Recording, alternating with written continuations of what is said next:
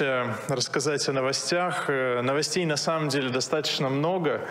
Я сконцентрирую внимание на тех новостях, которые имеют значение для нашей реальной клинической практики. И немножко скажу и о неком будущем, которое, возможно, нас ждет. Ну и в конце, конечно же, э, голосование с участием искусственного интеллекта. Вообще идея абсолютно потрясающая. Мне доставило большое удовольствие с ним пообщаться в процессе подготовки.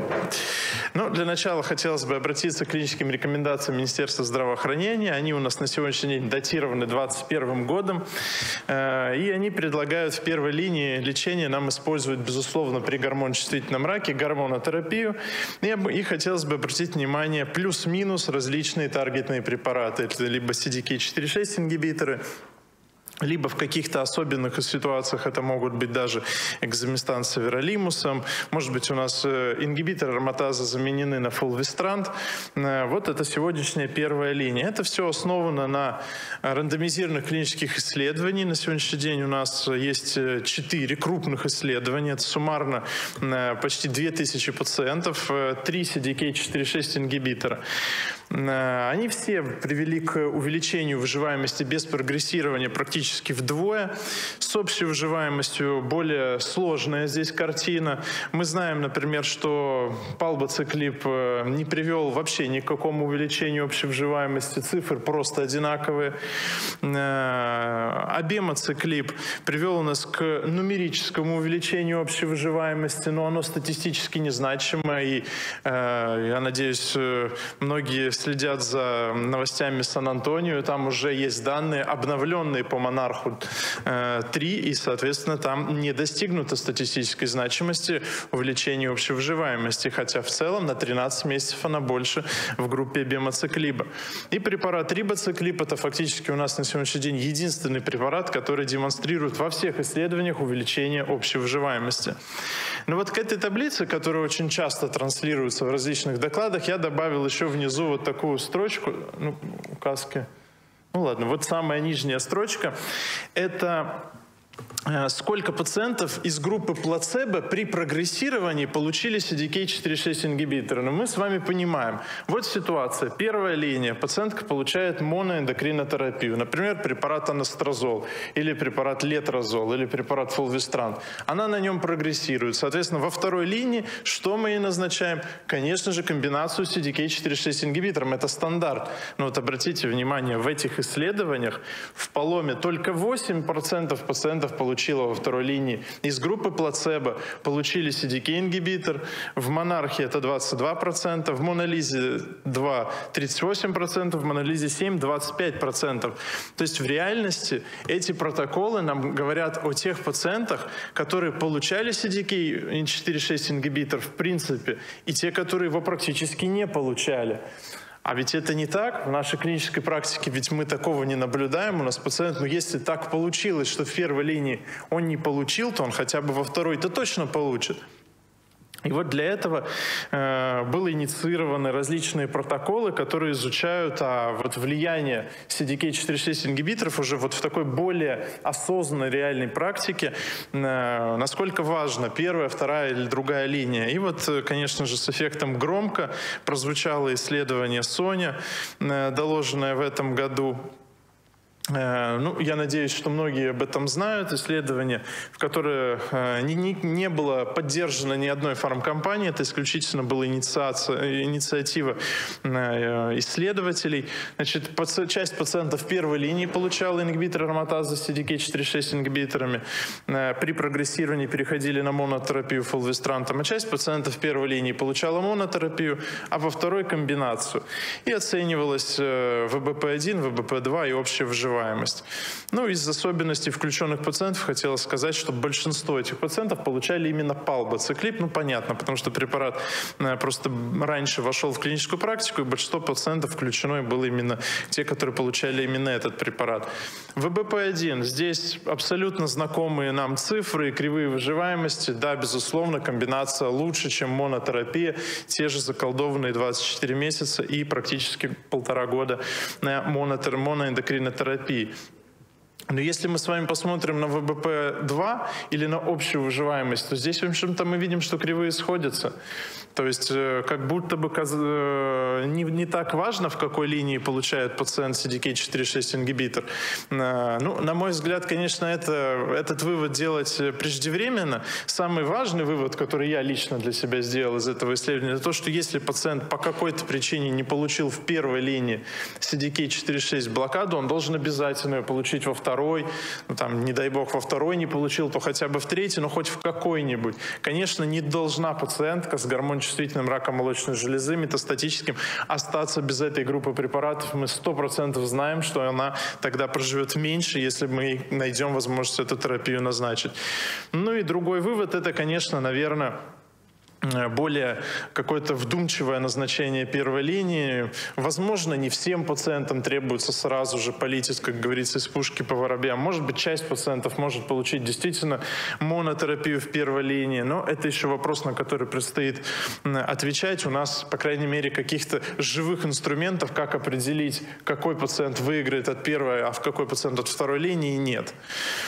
Другой еще э, если вопрос – это возможность повторного применения CDK4-6 ингибиторов. Да, пациентка когда-то их принимала, потом, может быть, прогрессировала, у нее были какие-то другие линии. А что делать дальше? Можем ли мы вернуться к этим эффективным э, препаратам, которые она принимала? И есть у нас э, уже некоторая доказательная база. Ну, начать я хотел бы с исследования Maintain. Это прошлый год. Ну, соответственно, это пациенты, которые применялись, у них ингибитор ароматаза CDK4-6 ингибитором, э, было не более одной линии химиотерапии, э, и, соответственно, они рандомизировались в две категории. Это пациенты, которым получали моногормонотерапию и гормонотерапию с рибоциклибом. Да, то есть мы повторно назначаем CDK-ингибитор, и сравниваем его с моногормонотерапией. Э, опять-таки, большинство пациентов получали в анамнезе палбоциклип. И что мы получили? Оказывается, что если мы назначаем пациентке комбинацию, она, э, ВБП у нее в два раза больше, чем если мы ей просто назначим гормонотерапию. И, на мой взгляд, это достаточно интересные данные, э, которые говорят о том, что в целом не закрыта возможность повторного назначения CDK4-6 ингибиторов. Да, тут можно дискутировать, а когда, в какой линии, учитывать, не учитывать ранний эффект, который был получен на этих препаратов, но тем не менее мы понимаем, что в целом по сравнению с моноэндокринотерапией уж комбинация явно смотрится как-то посимпатичнее. Ну и если переходим уже к 2023 году, в 2023 году были доложены результаты исследования Пальмира. Это тоже исследование рандомизированное, Э, только здесь пациенткам, э, которые в анамнезе уже получали CDK4-6 ингибиторы, далее назначалась моноэндокринотерапия или моноэндокринотерапия с палбоциклибом. Да, ну вроде бы исследование очень похоже. Там был рибоциклип, тут был палбоциклип. Но, как это не удивительно, но снова мы получили абсолютно противоположные данные. В данном исследовании не получен статистически значимый выигрыш от добавления палбоциклиба к моноэндокринотерапии. Но вот такие результаты. Э, понятно, что шестимесячная выживаемость, она лучше, частота контроля с заболеванием несколько выше. Но в целом, на мой взгляд, э, вывод из этого исследования следует такой, что, наверное, палбоциклип — это не тот препарат, который мы можем назначать повторно. Уж если у нас палбоциклип клип был когда-то, то если мы даже задумались над тем, чтобы вернуться еще раз к CDK 4.6 блокадам, выберем не палбоциклип. Выберем препарат, например, рибоциклип, который имеет большую доказательную базу. Ну или вот у нас есть исследование постмонарх, которое еще пока что у нас в ходу. Здесь у нас пока значимых э, результатов, которыми можно, можно было поделиться, нет. Оно еще набирается только, это исследование. Но мы узнаем уже и про бимоциклип в скором времени. Э, висцеральный криз. Э, это новости, которые мы узнали в конце прошлого года, что, оказывается, комбинированная гормонотерапия, она сопоставима, а может быть даже и лучше, чем химиотерапия у пациентов с агрессивным течением гормон положительного рака молочной железы, в том числе у пациентов с висцеральным кризом. Здесь была выше выживаемость без прогрессирования, частота объективных ответов сопоставима. В этом году на АСКО были доложены подгрупповой анализ.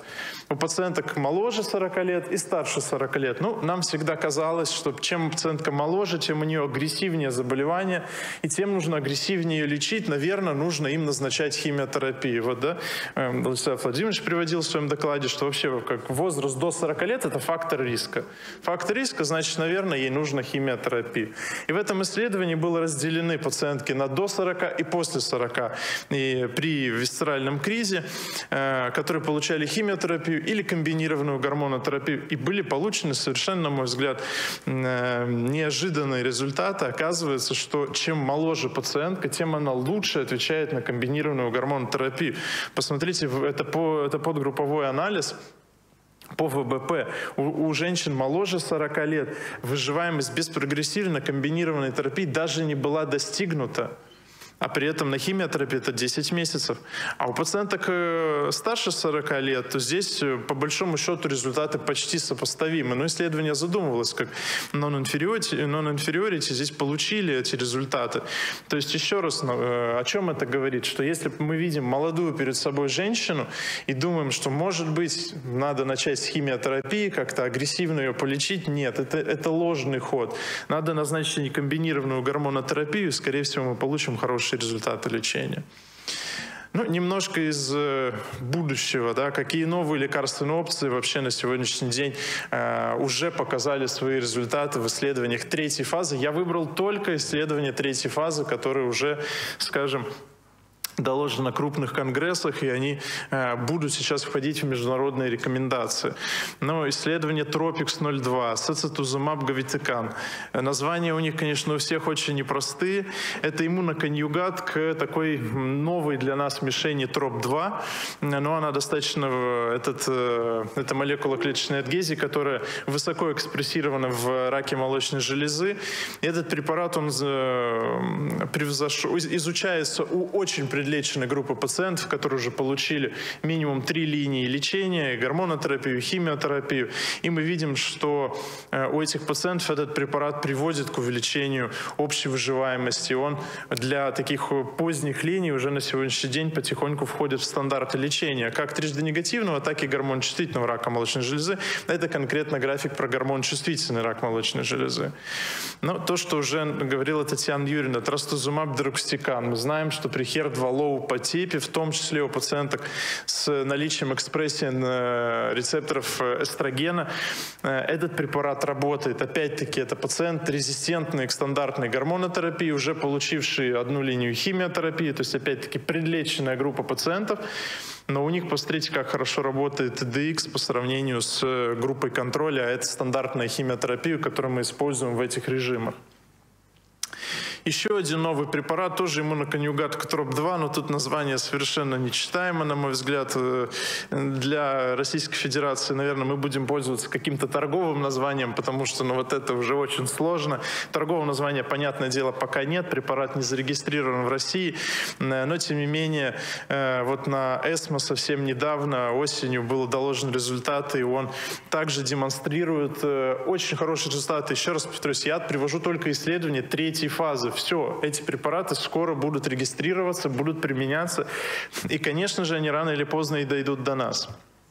Другой препарат – это э, ингибитор АКТ, препарат капивосертип, который применяется в комбинации с фулвестрантом на исследовании Капителла. Э, я знаю, что Институт онкологии активно участвовал в этом исследовании, по крайней мере, я там видел знакомые фамилии в названии работ.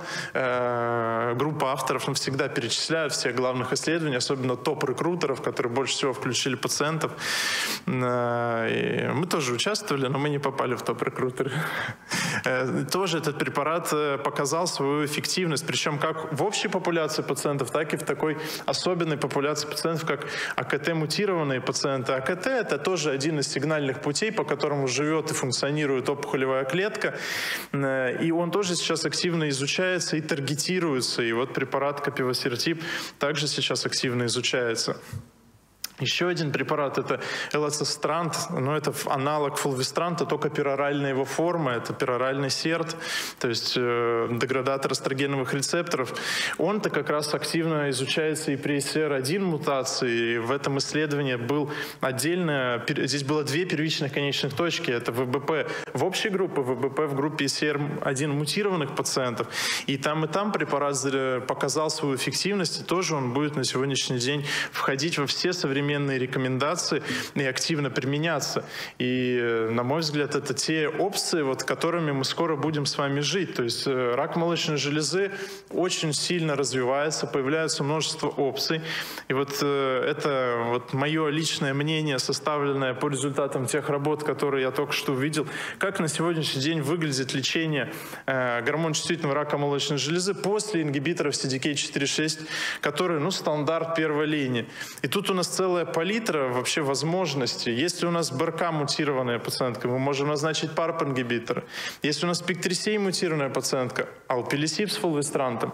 Если АКТ мутированные больные, фулвестрант с капивосертибом и CR1 мутация, элацистрант – ну да, у нас есть пациентки, у которых нет этих мутаций, wild type, я здесь их так назвал, но здесь у нас вариации. В принципе, и э, капивосертип здесь показал себя, лацистрант. Можем, вот как я уже приводил ранее, поменять, например, CDK4-6 ингибитор на какой-то другой или применить схему экзаместан с эверолимусом, это тоже возможность такая есть. Каким там пациентам? Химиотерапия. Ну, если у нас, конечно, есть висцеральный криз, то здесь, наверное, стоит отдать предпочтение химиотерапии, потому что здесь-то пациентки уже предлечены вторичные, да, это не первичные с висцеральным кризом. Ну, иммуноконъюгаты, которые я вынес совершенно отдельно, потому что это те опции, которые могут... Такое ощущение, что применяться вообще вне зависимости от э, никаких мутаций или подтипов. Они работают практически э, у каждого пациента. Но, конечно же, мы живем в реальной жизни, и я работаю в городском клиническом онкологическом диспансере, э, и мы вынуждены работать, э, обязаны работать по клиническим рекомендациям. Ну и в основном вот эти, конечно, вся эта палитра, она для нас недоступна, хотя что-то у нас есть.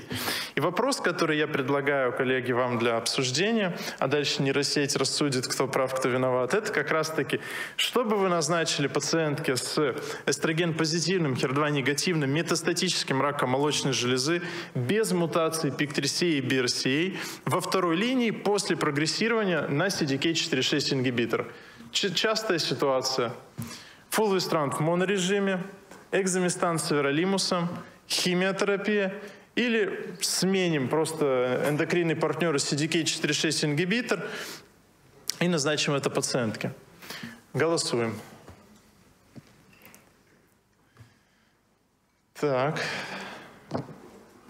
Мнения у всех, я вижу, разные. Так, Елена Викторовна, ваш столик не голосует. Не, ну, ну здрасте, вы это так это не, не, не прибедняйтесь. Что? Нет, висцерального криза у, этого, у этой пациентки нет. Ну давайте пойдем. Пятый столик. У нас выбрал вариант D. Он же, да, он же Г. Э, ну, соответственно, то есть поменять просто эндокринный партнер и CDK, видимо, ингибитор, да, то есть пациентка, допустим, получала там анастрозол с палбоциклибом, вы там фулвестран с риба, да, например, назначите. Ну, интересный подход. Так, столик номер 6, не вижу ваш ответ. Ну, Б у нас, Б, если это Б. Б. Экземистан и веролимус, да. Экземистан с веролимус. Так, столик номер 4. Два ответа. Вы не смогли договориться? Тут вариант Б и Д, то есть экзаместан веролимус и смена CDK-ингибитора. Очень, очень смело все просто меняют CDK-ингибитор, да, видимо, вдохновились исследованием Maintain. А фулвестран с ингибиторами ароматазы не будет такого варианта? Нет, такого варианта не будет. Так, столик номер два, вариант D тоже. И третий столик, вариант Б, экзаместан с веролимусом. Ну, Татьяна Юрьевна? Будет? Нет, вы у нас а. здесь хозяин. Ну что, тогда Ну, здесь на самом деле, я, э, когда этот вопрос задавал, я его задавал по-всячески э, нейросети, никак она не мне не хотела давать ответ. Какой, какая из этих опций предпочтительна? Вот чаще всего самый популярный ее вот вариант это было, что вы можете применять любую из этих вариантов в зависимости от клинической ситуации, состояния пациента, там, предшествующей терапии и так далее. Вот никак я не мог из нее выудить, вот так сформулировать этот вопрос, чтобы она мне дала предпочтительную опцию я уже начал перебирать различные нейросети. Попробовал одну, другую, чтобы все-таки она мне дала. Ну и, наконец, мне удалось этот ответ э, от нее получить. Я получил его от чата GPT. И вот он такой что чат GPT все-таки считает, что наиболее логичным вариантом во второй линии может быть fulvestrant, вариант А, в монорежиме. Экзаместан с веролимусом они предлагают для пациенток, э, которые имеют высокий риск прогрессии заболевания, ну, то есть, по-видимому, с какой-то большей опухолевой нагрузкой. Химиотерапия только если у нас все другие опции уже неэффективны, попробованы. А повторное назначение CDK4-6 ингибитора, вариант Г, обычно не рекомендуется рекомендуется в связи с возможной перекрестной резистентностью. Но вот нейросеть посчитала так. Эм, а ваше мнение, что вы посчитали? Нейросеть, она сейчас как наивный ребенок, она может ошибаться. Конечно, конечно. Э, наверное, кстати, я вот ей столько раз задавал этот вопрос, она, наверное, уже немножко научилась. Она поумнела, да. она на самом деле учится очень быстро. Она какие-то там машинное обучение сработала, и вот она мне в конце концов выдала уже более-менее какой-то такой вариант ответа. Но Э, Наверное, мы в своей практике э, вариант э, А и вариант Г или Д используем редко, мы в основном используем вариант либо Б, либо С. Если пациентка прогрессирует прям бурно на CDK4-6 ингибиторах, а это, кстати, встречается не так уж редко, я думаю, коллеги, вот кто активно использует, то, то это уже заметили, что чаще всего, ну не чаще всего, но бывают такие пациентки, которые прогрессируют и очень массивно с поражением висцеральных органов. И, на мой взгляд, у этих пациентов оправдано назначение химиотерапии, а уже дальше мы вот погасим эту ситуацию и можем снова вернуться к гормональным э, агентам. Если же у нас этого нет, то я сторонник, конечно, комбинированного лечения. На мой взгляд, от монотерапии надо уходить. Фулвестрант в монотерапии мы знаем по всем исследованиям, которые сейчас есть, после CDK4-6 ингибиторов, это субоптимальная опция. Плохо он работает. В реальности это 3-4 месяца, то есть первый, второй контроль, и пациентка прогрессирует. И мы назначаем тогда экзаместан с веролимусом. Ну вот как мы, как э, эксперты. Да, на самом деле я хочу сказать, поблагодарить, во-первых, э, Марка Игоревича за столь прекрасный доклад, содержательный. А, этим сегодня у нас, э, хочу сказать, отличаются все э, докладчики. Но, если позволите, я сделаю небольшой комментарий. А, и потом у меня, на самом деле, к вам вопрос, потому что, во-первых, спасибо большое, вы нам сэкономили чуть-чуть времени, но я все-таки хочу проговорить несколько аспектов. Вы знаете, есть два таких понятия, как антрацик... антрациклинфилы, антрациклинфобы. Я вот сейчас все больше склоняюсь к антрациклинфобам. И еще сейчас появились такие ант... а, соняфилы и соняфобы. Вот я больше являюсь соняфобы. Объясню почему. Это исследование, которое разрабатывалось 10 лет назад, и потом оно было реализовано. Конечно, оно является своим образом назад в будущее. То есть это далеко а, исследование, которое уже не актуально. Я объясню почему. Вот те, а, если изучить с точки зрения доказательной медицины, то вот эти вот 40 месяцев медиана общей выживаемости на полбоциклибе, а, или же мы возьмем медиану выживаемости на рибоциклибе у той же самой группы постменопаузальных больных, там 80% это были пациенты постменопаузальные. То есть исследование Сони мы никак не можем экстраполировать для молодых женщин, потому что там большинство были постменопаузальные. И что, собственно, к чему я это говорю? А к тому, что э, на самом деле вот эти вот э, 40 месяцев, это мы видим на э, CDK 4.6. А вот та прослойка гормонотерапии, это в попусту потраченное время самим пациентам и э, по сути, а, и такое же э, время, потраченное самими врачами. Но еще что очень важно, на что я хочу а, сконцентрировать внимание, сейчас а, там, к сожалению, в этом исследовании, я вот не знаю, как оно планировалось, большая часть пациентов были с метастазами в висцеральных органах. А не так давно уже опубликовано окончательное исследование «Фалькон», которым четко продемонстрировано, что даже на медиане выживаемости без прогрессирования, что на фолвистранте, что на ингибиторах ароматазы в два раза ниже выживаемость без прогрессирования у пациентов с метастазом висцеральные органы. То есть начинать даже было, я даже не совсем понимаю, как они могли, а пациенты с метастазами в печени, в легких начинать с гормонотерапии заведомо с опцией, которая не, а, никак не отразится на показателях. То есть исследование, оно должно было планироваться таким образом, чтобы мы получили ожидаемый результат. И, конечно же, оно почему еще очень важно? Потому что вы правильно отметили, сейчас никому ни в голову не пройдет назначать во второй линии фулвистрант, а, потому что есть э, другие опции. Поэтому, да, мы учли это исследование, да, это такой вот, собственно, э, хорошее исследование, но оно опоздало. Будь оно немного вот 5 или 6 лет назад, оно, может быть, для нас было тогда актуальным. Сейчас это не столько актуальное исследование, потому что если взять этих пожилых женщин с тем же самым критерием включения, то на рибоциклипе в первой линии пациенты живут 70 месяцев медианной выживаемости. Или же взять, если начинаем с гормона, э, любую другую опцию, гормонотерапии или таргетная терапия, это 40 месяцев. Ты вот хоть хоть что здесь скажи. Поэтому здесь, конечно же, нужно начинать на заведомо эффективной опции. У меня еще, знаете, какой к вам вопрос? А сколько в вашей клинической практике, поскольку мы с вами вместе живем в одном большом городе, активно сотрудничаем, все-таки у вас были пациенты, а, которым вы э, по поводу висцерального криза или превисцерального криза назначали в первой линии CDK 4-6 гормонотерапии? У нас не очень большой опыт пока что вот таких назначений. Э, вот так на память приходит, наверное, три пациентки, которым мы назначали в первой линии. Одной из них, к сожалению, не получили мы ничего, она достаточно быстро погибла, а у двух пациенток мы получили хороший ответ. Но я, наверное, не скажу, что они были в таком классическом висцеральном кризе. Э, они были, наверное, вот в предкризе, если вообще существует такое определение. То есть они, э, у них было достаточно большое поражение висцеральных органов, у них были симптомы, у них была элевация э, там, определенных биохимических показателей, но это не было вот прям жизнеугрожающая ситуация у этих пациенток. И мы назначили, и у них мы получили эффект.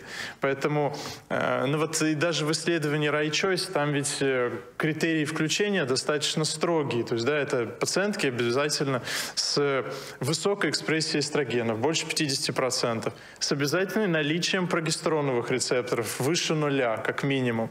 Это должны быть пациентки с уровнем билирубина не выше полутора норм. То есть вот есть определенные э, такие условия, если которые мы будем соблюдать, то наверняка мы будем получать такие же фантастические результаты. Если же мы будем, наверное, назначать эту комбинацию всем пациенткам с висцеральным кризом и гормоночувствительным статусом, мы можем, наверное, каких-то из этих пациентов терять. То есть мне кажется, что вот Right Choice как раз-таки очень хорошее исследование, и оно требует внимательного подхода и внимательного изучения. И и вот э, про то, что вы сказали про Соню, абсолютно с вами согласен. Конечно, ну, это я тоже согласен, что если пациентки висцеральные метастазы, но о какой моногормонотерапии может вообще в принципе идти речь, конечно, это исследование там на уровне вообще какого-то эти, этичности оно, оно стоит. Но, наверное, все-таки выделить какую-то подгруппу пациентам, которым мы можем назначить моноэндокринотерапию, вот это исследование как раз-таки оно э, зародило вот эту зерно мысли, точнее оно было у нас у всех, мы всегда думали, да, всем не всем. Это я еще помню даже на, на роке, на русском рак молочной железы были вот эти дебаты. Всем назначаем в первой линии CDK-ингибиторы или не всем пациентам.